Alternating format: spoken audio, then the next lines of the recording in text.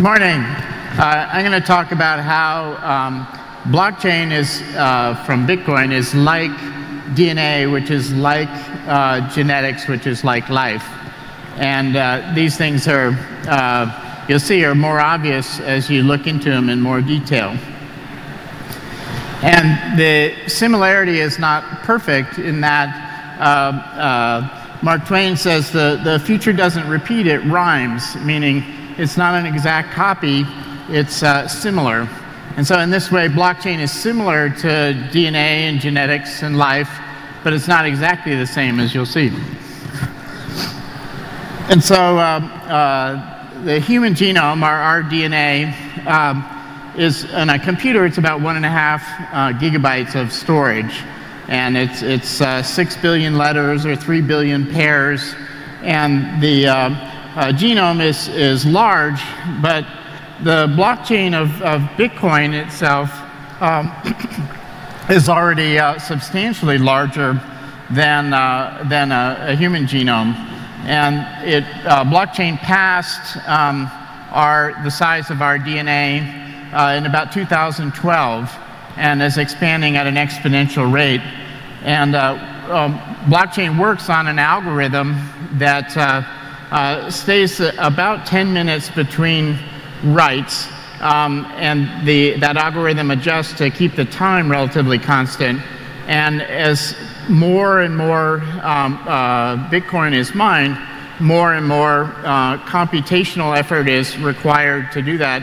And the size of the blockchain gets bigger and bigger because it, it replicates everything since the genesis or since the origin of, of the Bitcoin's blockchain. And that algorithm is uh, uh, growing um, exponentially. And the graph uh, on the right is the uh, uh, forecast, essentially, of, of how big blockchain is going to be, where it should pass uh, one gigabyte or, or 1,000 gigabytes or one terabyte in about um, 2022 and continue um, on the, until 2140, 2140, uh, when all of the bitcoins will have been mined. And so blockchain, um, and uh, of which there are a few different versions, most notably uh, Bitcoin's blockchain, which is different than Ethereum's blockchain, and then there are others, uh, have some characteristics that are somewhat new in computer um, architectures and uh, the most notable ones is, is it's voluntary in that people choose uh, to um, make their transactions on a, um, on a blockchain. It's borderless in that there isn't a country or a government uh, or a boundary of where it, it begins and ends. It's continuous everywhere on the internet. It's decentralized in that there isn't a, a president of Bitcoin or a a company of Bitcoin or, or, or whatnot. It's uh, distributed, um, uh, again, worldwide, essentially anywhere the internet goes or could go. Um, and it's replicating in that every time uh, a transaction is, is written to the blockchain, uh, it's, it's fully copied. Um, and the, it's a protocol and framework for doing transactions uh, in a way that you can trust the algorithm and don't have to trust a bank or a government or, or a person per se, and that the algorithm itself uh, it, uh, maintains the trust that the transaction is valid and all the transactions that came before are valid. So I would suggest that uh, genetics uh, has these same characteristics in that uh, uh, organisms that choose to use DNA are, are voluntary. It's also borderless in that there isn't a boundary uh, uh, or by a government as to where genetics can go or not. It's decentralized, it's distributed, uh, it's peer-to-peer replicating in that um, the, it doesn't go through a central process to replicate uh, cells or organisms. And it has a certain framework and protocol for how uh, things are encoded in the bases of DNA and how genes are encoded that uh, and how life works in general. And so information replication uh, on, on, a, uh, on a blockchain is a blockchain is essentially a ledger like a spreadsheet that just keeps the uh, transactions in and out. And so if I were to put my gene sequence on the blockchain, my gene sequence doesn't go on the blockchain itself. There's just a record that I did it and a, record of who's looked at it or checked it out. And that my gene sequence is in a computer somewhere, uh, hopefully not Equifax. Um, but the, uh, the concept of putting something on the blockchain isn't putting the actual data on the blockchain, it's, it's just recording it in the ledger that you can be confident that when something is checked in or checked out, uh, it is not, can't be faked uh, and is an accurate record. But the data itself can exist elsewhere, and the blockchain points to where it is. Um, and, but that's not the same as putting something inside the blockchain. It's just a record of it on the blockchain. Um, and then blockchains scale in a, in a reliable way. Uh, the, uh, in the case of Bitcoin, it's scaling by, by mining. And the mining has uh, a feature in that it uses a lot of compute power, power, which uses a lot of electricity, which is part of the reason it's difficult to, to uh, hack or to uh, um, fake, in that it would take um, a lot of com more compute power to make a fake blockchain that everything uh, that came before has to be reconciled and fake. And, and it's easier to just uh, uh, do the mining and replicate it. And thus you can trust it. It's, it's not uh, hackable. And the speed at which it replicates um, uh, gets more difficult as the algorithms get more difficult. Um, and the, uh, thus the amount of energy it uses is expanding exponentially. And so uh, again, the parallel where uh, DNA is essentially a log of the uh, characteristics of a creature. Uh, the machinery that replicates DNA in people has an error rate in that uh, 1 in 10 to the ninth times uh, it makes a mistake in copying the letters. And, and that's a, a, 10 with, with nine zeros behind it, or 10 billion. Um, and so human is, is about 6 billion. So by the time we go from a single cell to multiple cells, there's already one error has been introduced in our DNA uh, as we mature into an adult. Um, and DNA and genetics is a protocol that's adaptive uh, to the uh, metabolism of the organism, organism and, uh, um, and it, it, works on a biophysical mechanism for its speed, that, that limits its speed. And the efficiency um, uh, is something that defines which creatures survive and which don't. And so in the case of, uh, of blockchain, uh, uses a mining mechanism that uses electricity. And the parallel in, in life and in genetics uh, is, what predation is, is where uh, you either with photosynthesis uh, create energy or uh, by eating other living things, an organism creates energy. And this is used to power uh, metabolism and replication. And so this graph in the middle um, is the amount of compute power that is required to do a transaction on the blockchain in uh, what's called petahashes, which is how much uh, compute power is used, which also correlates with how much energy is used. And as chips get customized to doing blockchain mining, uh, the uh, uh, compute power goes up more efficiently, uh, but the uh, algorithm and the, and the difficulty of, of, doing a Bitcoin or blockchain transaction follows a, a, computational difficulty graph like this. So information uh, flows, and that information isn't static in life or in uh, blockchain. In that, in biology, um, the information coded in the genetics of our parents transfers to our DNA which transfers to RNA, to proteins, and to the metabolism of how we uh, live and eat food and, and replicate. And the other parallels are, are blockchain uh, um, metabolism is, is in the form of tokens like Ethereum or Bitcoin or, or many of the 2,000 others.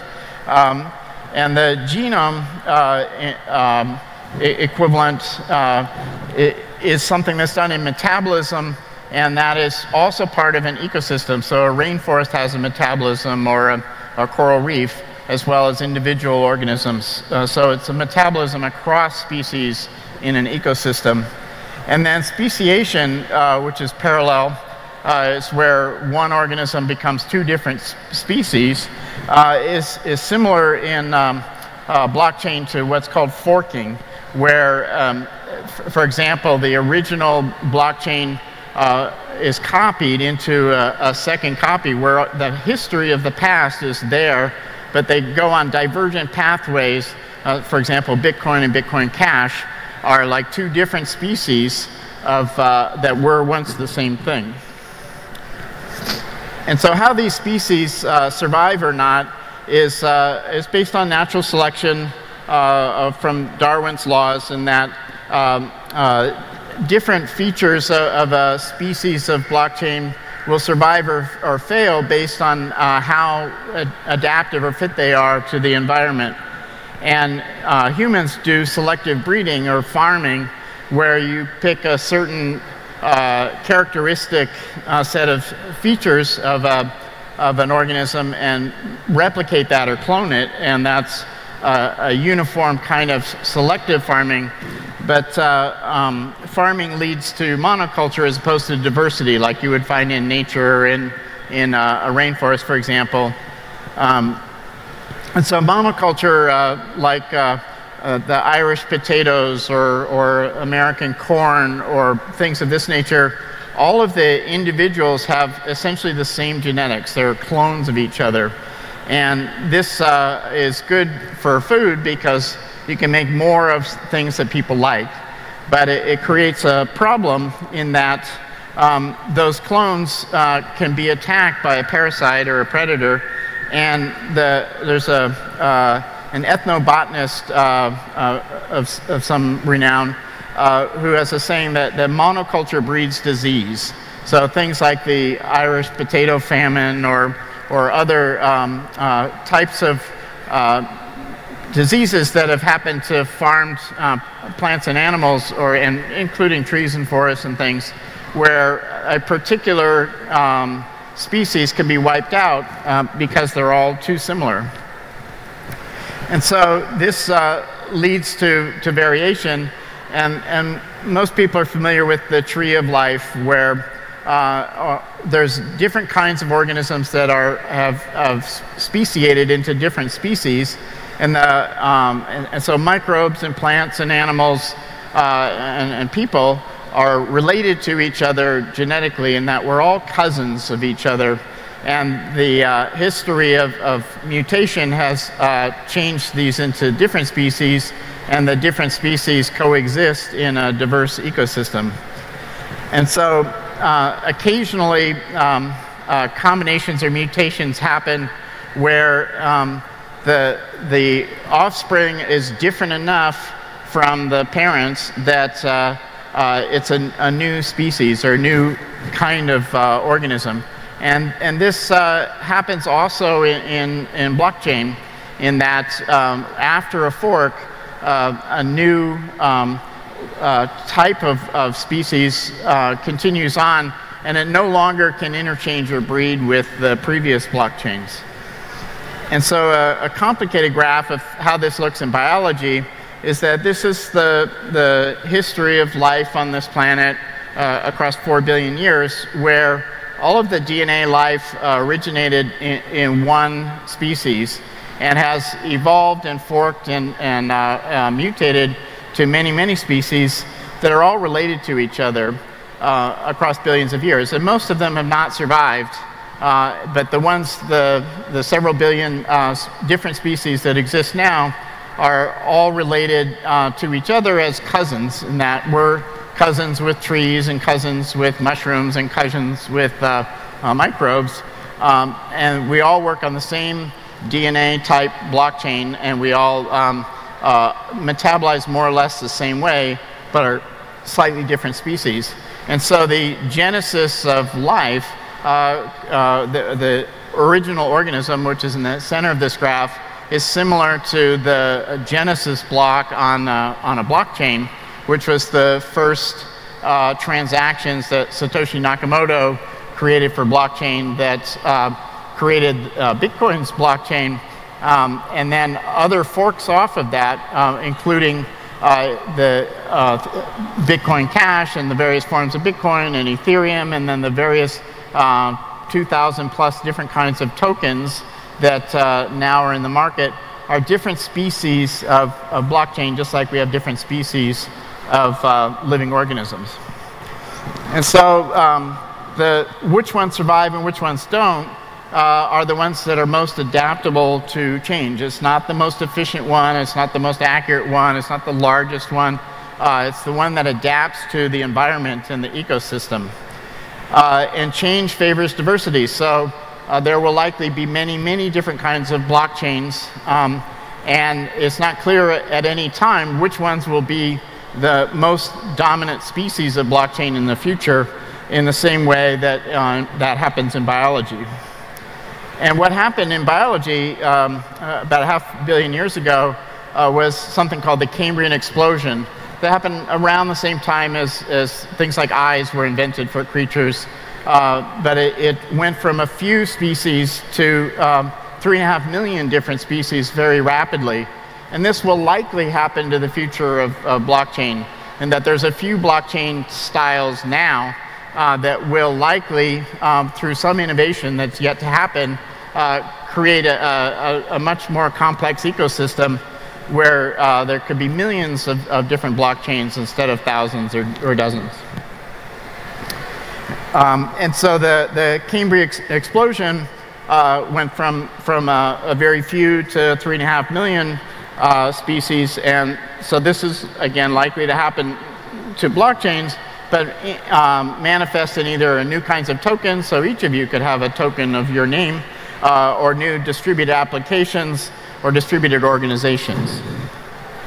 And so um, in the far future, uh, genetic or biochemical life is information that is evolving uh, to uh, digital information where most of us are a combination of, of, our genetic information and our Facebook profile and our credit report and our uh, um, medical records in that we're um, uh, part digital and part uh, biochemical now, and the, the trend is moving towards more and more digital, and things like blockchain uh, uh enable uh, more and more complicated uh, information that can be replicated accurately. And so our self, or who I would define as, as me, is increasingly information, whether that's digital or biochemical, uh, so uh, Gregory Bateson uh, has uh, example of, of a, of, a, man with an axe, in that where the edge of the man stops um, is not so clear to evaluate. Is it, is it their skin? Is it their hand? Is it the axe? Is it the blade of the axe? Is that they can cut down trees and make fire and cook food and have uh, a family? Can they cut down a whole forest? That where a, a person ends is partly their um, potential of what they might do. And so uh, this information flows as, as we replicate with, with other individuals, uh, both biologically but also socially and culturally, and exchange information, in that the information flows over time. And that uh, what we are is information, but the uh, way that that information manifests is uh, our, our chemicals change as we eat food and metabolize, and our information changes over time as well, our memories and so forth. And so the a flow of information of what is a person is more like a wave than it is like a particle. And so that's where I'll stop.